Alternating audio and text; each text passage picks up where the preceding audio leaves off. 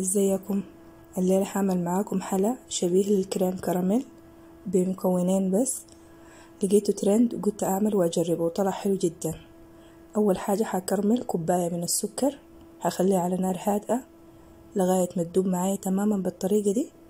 يبقى كده السكر المكرمل عندنا جاهز.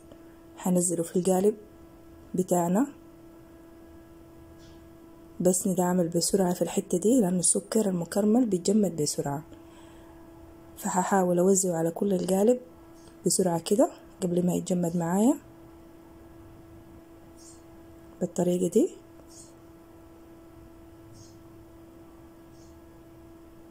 وبعد كده نخليه على جنب. الخطوة الثانية المكونين الأساسيين هم الزبادي. المكون الأول الزبادي هضيف علبتين من الزبادي. والمكون الثاني الحليب المكثف المحلى. هضيف علبتين برضو من الحليب المكثف المحلى. يعني علبتين زبادي مع علبتين حليب مكثف محلى. لو عايزين تقللوا من الحليب المكثف علبة واحدة ممكن تكفي أو علبة ونص. بس أنا من النوع اللي بحب السكر الزيادة فكده كان مظبوط معايا جدا ودسم. يعني قطعة واحدة بس من الحلا ده كانت مشبعة تماما. هخلطهم كويس مع بعض.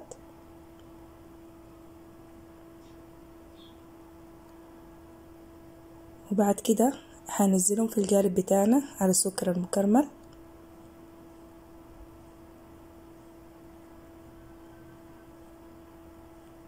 وهغطيهم بورق ألمونيوم اللي هو القصدير. هغطي القالب كويس جدا.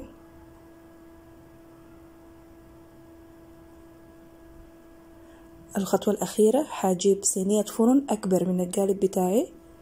وهضيف ليها موية سخنة. لغاية نص الصينية كده وبعد كده أرجع القالب أخده في الصينية وأشيل الصينية أدخلها الفرن على درجة حرارة مية وتمانين شغال من فوق وتحت لمدة تلاتين دقيقة. بعد التلاتين دقيقة نطلعها من الفرن. طبعا حن... حن... حنلقاها إنها متجمدة ماسكة نفسها يعني بس بتحتاج بعد كده التلاجة. هندخلها التلاجة أقل حاجة ساعتين تبرد معانا وبعد كده نطلعها ونقلب. شكلها حلو جدا وطعمها حلو مميز.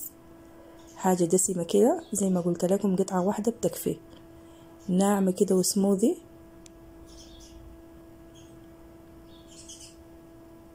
حاجة كده كريمية جدا.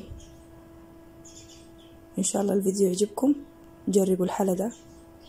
ومع السلامة في فيديو جديد. في أمان الله.